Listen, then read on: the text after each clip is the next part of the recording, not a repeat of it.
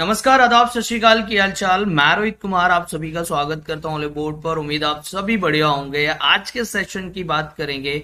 आज है आपका 23 अगस्त और आज जो भी इम्पोर्टेंट करेंट अफेयर्स के एमसीक्यूज आपकी इस एग्ज़ाम के पॉइंट ऑफ़ व्यू से इम्पोर्टेंट बन सकते हैं।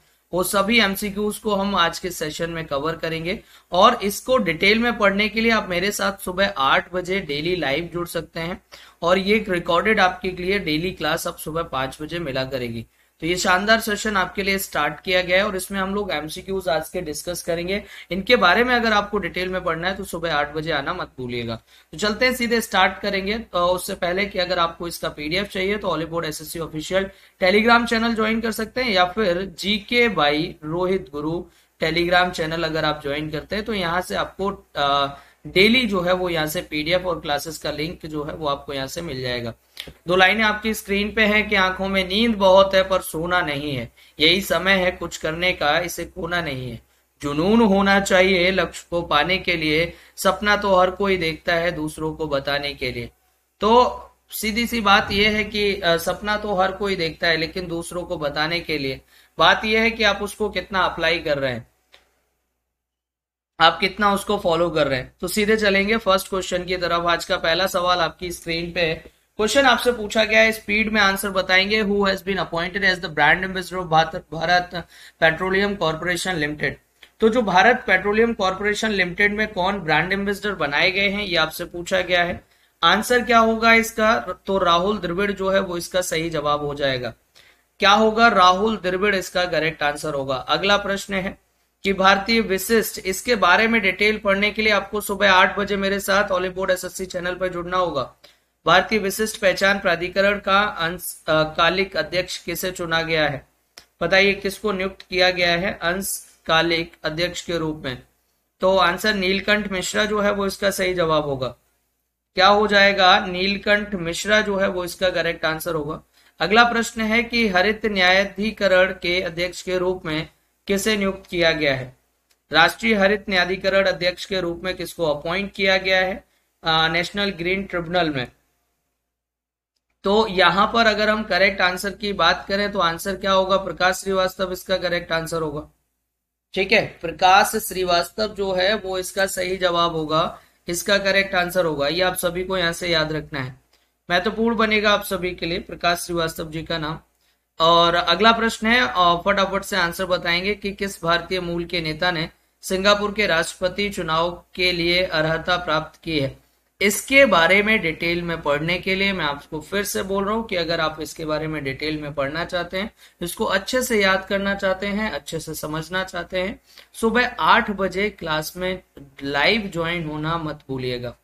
ठीक है, आंसर इसका क्या हो जाएगा? यहाँ पर अगर हम इसके सही जवाब की बात करें आंसर होगा थर्मन संगु मर्ग मरतम जो है मर तम आपको याद रखना है। थर्मन, संगु, गरंतम का नाम आपको यहाँ से याद रखना है। ये महत्वपूर्ण बनेगा। गरतनम का नाम आपको यहाँ से ध्यान में रखना है। ठीक है, आगे देखिए, और उससे पहले मैं आपको बता दूँ S S C C H S L tier two के लिए परिवर्तन बैच हमारा लाइव है 2028 वो जो 2023 में 28 अगस्त से ये आपका स्टार्ट हो रहा है। और अभी आप इसमें मैक्सिमम डिस्काउंट लेना चाहते हैं तो रोहित कोड यूज़ करके आप टेस्ट सीरीज़ मॉक कुछ भी ज्वाइन कर सकते हैं। आपको मैक्सिमम डिस्काउंट मिल जाएगा। ऐसे ही हमारा जीके क्रैकर बैच चल रहा है। इसको ज्वाइन कर सकते हैं और जीके के बैच के लिए डिस्काउंट अगर आपको चाहिए एक्स्ट्रा या आप मॉक वगैरह में लेना चाहते हैं तो रोहित कोड यूज़ कर सकते हैं। सेम आपका सीजीएल के लिए संकल्प बैच है। इसको भी आप सभी ज्वाइन कर सकते हैं सीजीएल मेंस के लिए। और अब घर बैठे हिंदी टाइपिंग का कोर्स आप कर सकते हैं। और कोड यूज़ करना होगा रोहित, आपको यहाँ पर एक्स्ट्रा डिस्काउंट मिल जाएगा मैक्सिमम डिस्काउंट मिल जाएगा। नेक्स्ट क्वेश्चन है कि नेपाल के मुख्य न्यायाधीश के रूप में किसे नियुक्त किया गया है? बताएँ स्पीड में इसका सही जवाब। कह रहा है कि नेपाल के मुख्य न्यायाधीश के रूप में किसको नियुक्त किया गया है? नेपाल के चीफ जस्टिस कौन अपॉइंट किए गए हैं? तो आंसर क्या होगा? विशोम्बर प्रसाद श्रेष्ठ इसका सही जवाब होगा। ठीक है विशोम्बर प्रसाद सेठ। श्रेष्ठ। अगला है लोकप्रिय गोपीनाथ बोरदोलोई अंतरराष्ट्रीय हवाई अड्डा। डीजी यात्रा शुरू करने वाला पूर्वोत्तर का पहला हवाई अड्डा बना है। किस रा, किस राज्य में अब ये डीजी यात्रा क्या है? इसके बारे में आपको डिटेल में समझना है। तो सुबह आठ बजे लाइव आना मत भूलिएगा। आंसर की बात करें, यहाँ पर ये हवाई अड्डे की बात की गई है और एग्ज़ाम के पॉइंट ऑफ़ व्यू से भी अगर हम एक्चुअल में देखें तो ये इंपॉर्टेंट है। आंसर असम इसका सही जवाब होगा। अगला प्रश्न है कि फीफा महिला विश्व कप 2023 का खिताब किस देश ने जीता है? आंसर की बात करेंगे तो आंसर इनमें से क्या होगा? स्पेन इसका सही जवाब होगा। स्पेन इसका करेक्ट आंसर होगा। ठीक है? अगला है कि भारत के किस उद्यान ने एशिया के सबसे बड़े पार्क के रूप में वर्ल्ड बुक ऑफ़ रिकॉर्ड्स में अपना नाम दर्ज कराया है? तो इसका सही जवाब यहाँ पर क्या हो जाएगा?